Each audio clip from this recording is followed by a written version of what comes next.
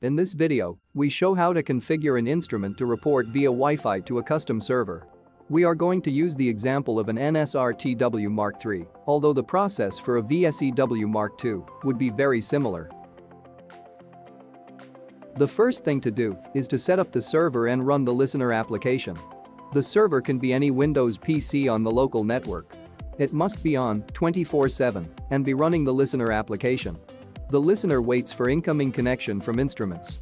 When an instrument tries to connect, the listener establishes the connection and performs required actions on the instrument, such as upload its latest data.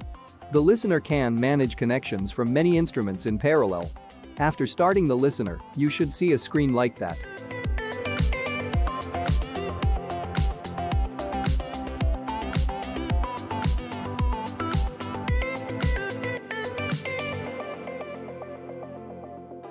Press the Settings button. Adjust the various parameters, such as the location of the uploaded data, whether or not to create a log of the connection attempts, and where to save those log files. We highly recommend creating those log files as they can indicate in detail many connection problems that can occur.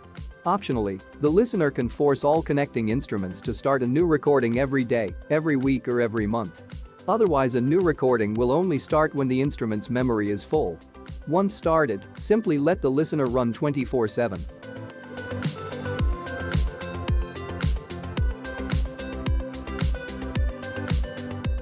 The next thing to do is to find out the IP address of the server on the network.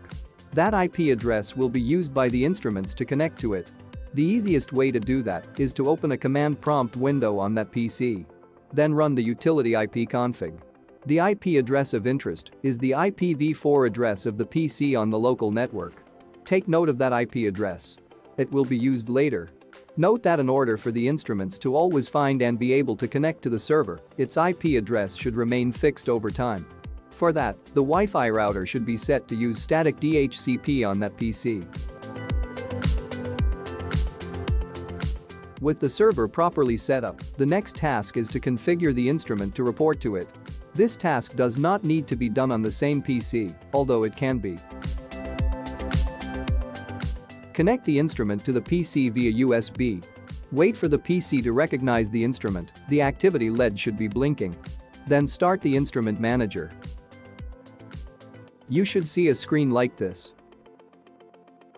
The first thing to do is to make sure that there is no data in the instrument. Otherwise as soon as the instrument connects to the cloud, it will try to upload all that data to the server. This can take a very long time if there is a lot of data.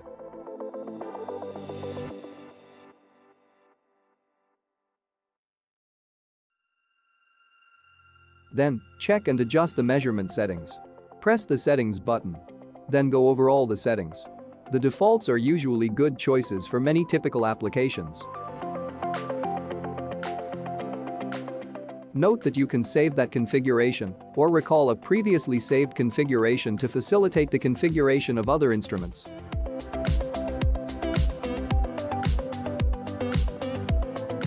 Go to the Wi-Fi tab and press the Set Wi-Fi button.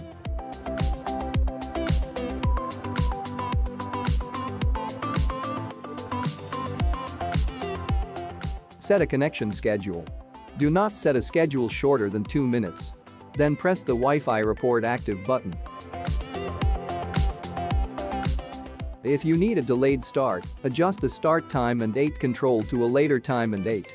Otherwise set it to now. This will create an immediate start.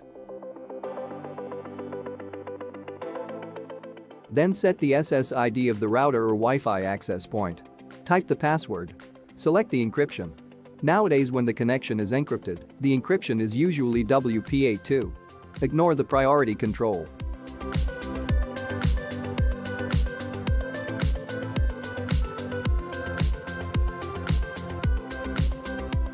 Set the IP address of the PC that is running the listener on the local network. Leave the server name empty.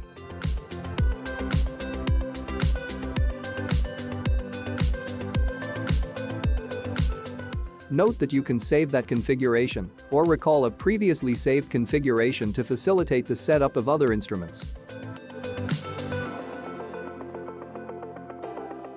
After pressing OK, make sure the border around the Set Wi-Fi button indicates that the Wi-Fi reporting is now active. Now the instrument is configured and activated.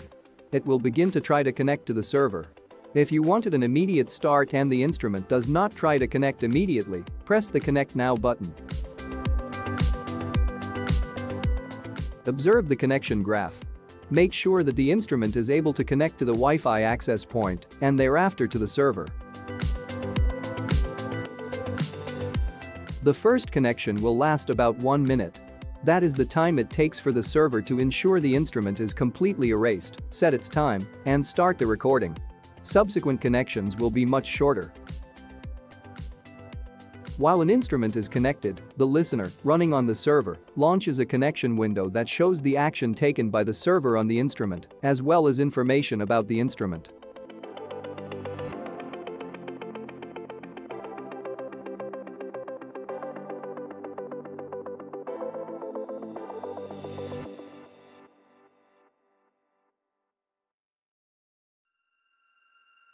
At this point, the instrument manager can be stopped.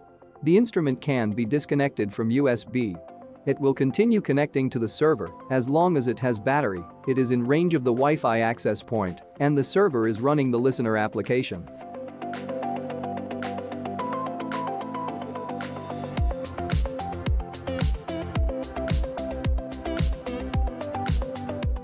Before decommissioning an instrument and placing it in long-term storage, it is essential to deactivate it.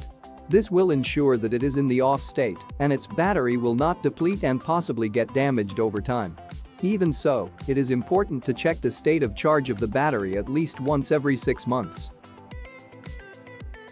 Start the instrument manager. You should see a screen like this. Go to the Wi-Fi tab and press the Disable All button.